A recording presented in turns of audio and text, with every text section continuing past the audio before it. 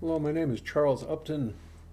Um, I'm going to read you a piece called The Model of Muslim Chivalry and the Virtues of the Prophet Muhammad.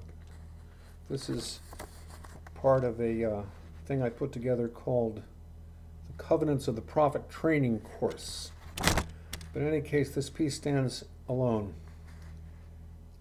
So, I am presently associated with an international Muslim peace movement called the Covenants Initiative, whose mission is to tell the world about the covenants of the Prophet Muhammad with the peoples of the book, in which our Prophet orders all Muslims not to kill or rob or oppress or damage the buildings of peaceful Christians, but rather to defend them until the end of time. Since Dr. John Andrew Morrow and I inaugurated the initiative in 2013, based on his book, The Covenants of the Prophet Muhammad with the Christians of the World, I've begun to realize that what we are doing perfectly fits the definition of the Arabic word futuwa, which is usually translated into English as chivalry, and which some have defined as heroic generosity. Organized futuwa first made its appearance as an order of knighthood founded by the Abbasid Caliph al Nasr al Din Allah. Later, after the order was dissolved, it became associated with the craft guilds and exercised an important influence on Sufism. And though the greatest exemplar of Muslim chivalry per se is universally recognized as Ali ibn Abi Talib, all the virtues of chivalry are to be found in the character of the Prophet Muhammad, peace and blessings be upon him. The following text is partly adapted from my book, The Virtues of the Prophet, a young Muslim's guide to the greater jihad, the war against the passions. It is a meditation uh, on the character of Muhammad considered as the central tafsir, exegesis, of the Holy Quran, the Quran in human form. It has been said that Islam is the meeting between God as such and man as such. For the nature of God, we have the first part of the Shahada I testify that there is no God but God. For the nature of man, because there can be no conception of who God is without a corresponding idea of what man is. We have the second half, and I testify that Muhammad is God's prophet. For Islam, the door to the true nature of humanity is the character of the Prophet Muhammad, peace and blessings be upon him. He is Insan al Kamil, the complete man. He is the exemplar of, of our fitra, of the human form in its original nature as God created it. The love we Muslims feel for the Prophet has to do with the fullness of his humanity, not in any sentimental sense, but rather because in him is revealed an unfailing and providential capacity to bring out the full humanity of any and every situation and then act upon it. Whichever way you turn, there is the face of God, says the Quran. But it would be almost equally true to say, whichever way you turn, there is the example of the Prophet. The essence of the Islamic view of the true human being, which is both the ideal we strive for and the norm according to which we are created, is unity of character, a unity that is indistinguishable from beauty. Whatever is unified is balanced. Whatever is balanced is well proportioned. Whatever is well proportioned is beautiful. The beauty of the prophet's character does not lie in an overwhelming brilliance or a blunt forcefulness or a beguiling fascination or terrifying majesty.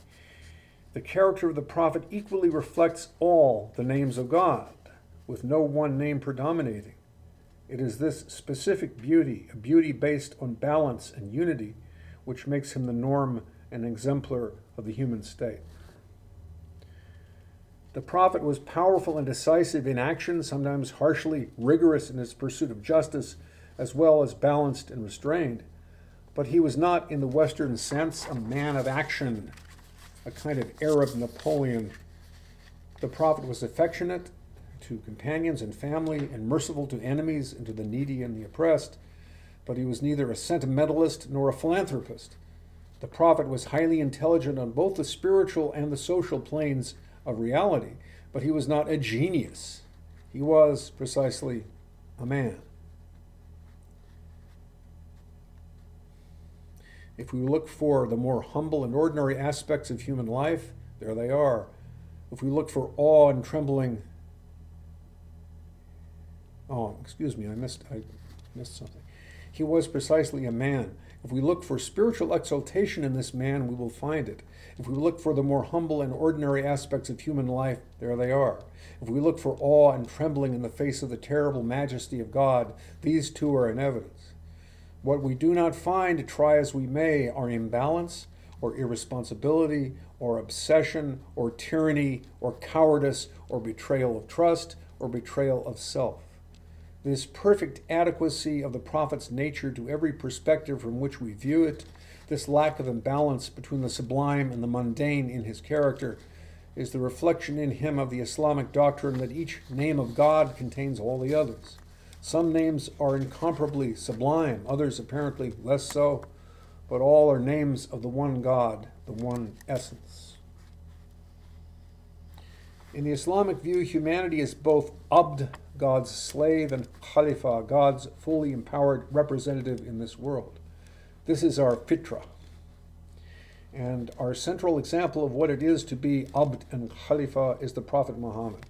His submission to God was perfect, not because, like some of the greatest saints, he intensely desired to submit to God in a passionate and self sacrificial way, but because he was one with the nature of things.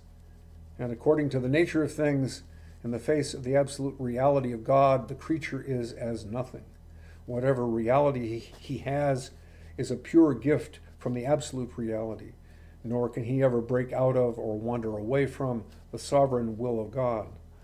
Whether or not he submits willingly, he always submits actually. Muhammad knew this and therefore submitted willingly and perfectly.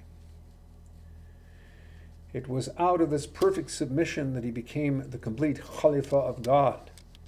He was like a mirror turned to face all of God's names and attributes. The mirror itself does nothing and, as it were, is nothing. It is because of this submission, this Islam, that all the forms of life can appear within it. The prophet was a shepherd, a businessman, a caravan leader, a contemplative, a warrior, a diplomat, a legislator, a judge, a ruler, a man of his clan and his family, a husband, a father. But he was not thereby a Renaissance man, a person who seeks diversity of experience for its own sake, who develops and overdevelops many and diverse talents because he is basically in flight from his true nature and from the God who made him. He never departed from his center in order to develop this or that side or fragment of his character. His character was unified and beautiful because it reflected the unity of God.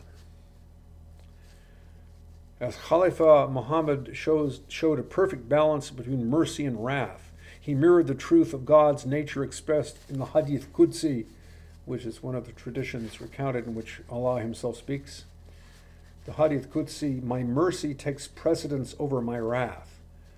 Perhaps this does not sound like a perfect balance, its mercy takes precedence. But the truth is that mercy is the point of balance itself, while wrath is that which overcomes imbalances and returns everything eventually to mercy. As Sayyid Hussein Nasr has said, the purpose of war is peace. Likewise, the purpose of the inevitable imbalances brought to us by life circumstances and our own psychology is to help us intuit our transcendent center of gravity, the point within us yet beyond us, known as the heart. In the words of the Hadith Qudsi, heaven and earth cannot contain me, but the heart of my willing slave can contain me. The heart is the light of God, the center of the human person. If the heart is like the sun, the virtues may be compared to the rays of the sun and to the many colors of the spectrum hidden in the sunlight. The character of the Prophet, Muhammad, peace and blessings be upon him, exhibits both the entire spectrum of virtues and the perfect balance between them, the synthesis of all the names of God known as the Mohammedan light, whose receptacle, destined as such from all eternity, is the human form. We develop character by practicing and realizing the virtues. The word virtue is related to the word virility. We used to talk about the virtues of herbs and stones, by which we meant their power to heal us, to make us complete. Virtue is power. It is the power to be who we really are, to attain and maintain the human state that God has commanded us to embody. The virtues are what allow us to live up to the amana, the trust God has placed upon us, which, as the Quran tells us, we as a race have willingly assumed. They are what allow us to be both abd, God's slave, and khalifa, God's fully empowered representative in this world, not only in our essential nature by which we are abd and khalifa from all eternity, but consciously and intentionally. Virtue, then, is the power that allows our intent to match our nature. There is no virtue, no name of God that is not reflected in the character of the prophet. All virtues are Muslim, just as all virtues are Hindu or Jewish or Christian, Christian or Buddhist. But since every revelation of God is unique, Islamic virtue carries its own particular fragrance, which is unmistakable. The Prophet of Allah manifested every virtue. We have neither time enough nor space enough to recount them all. This final lesson of the covenants of the Prophet training course, which is the lesson on the uh, chivalrous virtues of the Prophet, as a way of internalizing our understanding of these covenants. Uh, this final lesson of the covenants of the prophet training course, however, is based on the virtues that most directly relate to Muhammad as, as a fatah, a man of chivalry. The paramount fatah, chevalier or knight of Islam was, of course, Ali ibn Abi Talib, who wielded the famous double pointed sword Dul Fiqar, as the Prophet Muhammad, peace and blessings be upon him, was the perfect mirror of Allah, so Ali was the perfect mirror of Muhammad. In him, all the virtues of the Prophet were fully displayed. Whenever Ali drew Dul Fiqar, he battled the outer enemy with the first point and the inner enemy with the second.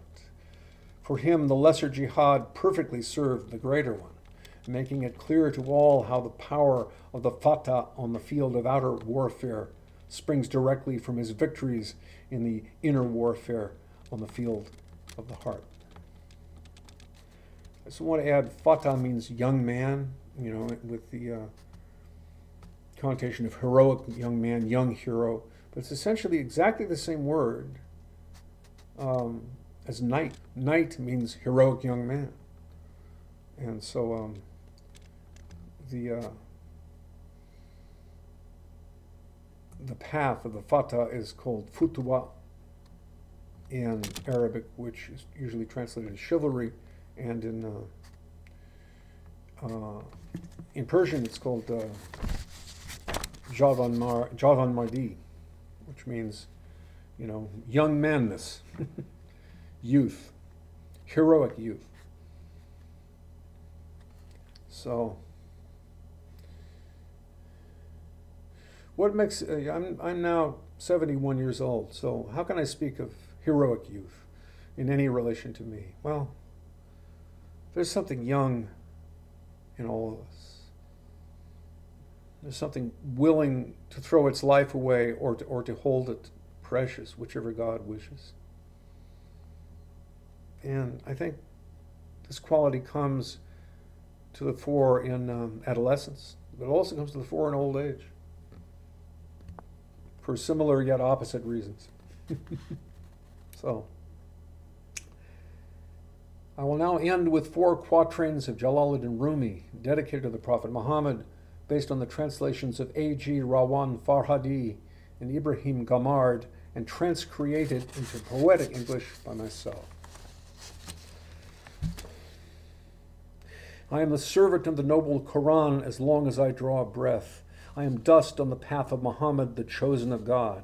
If any man claims he's found something else in what I have written, I am disgusted with him and finished with him. A branch made of sugar sprang up. Suddenly the water of life welled up. The king poured alms into the hands of the poor. May joy and peace pour down upon the soul of Muhammad. The spirit once chained to mere ideas about God, when the light of the chosen one shone upon it, flew straight to his essence. The moment it took flight, it cried out in its gladness, All blessings be upon the joyful spirit of Muhammad the Chosen. You made me the servant of Islam's travelers. You made me the bearer of certainty's trust. I am weak, I said, and your burden is heavy. You infused me in reply with iron and with power.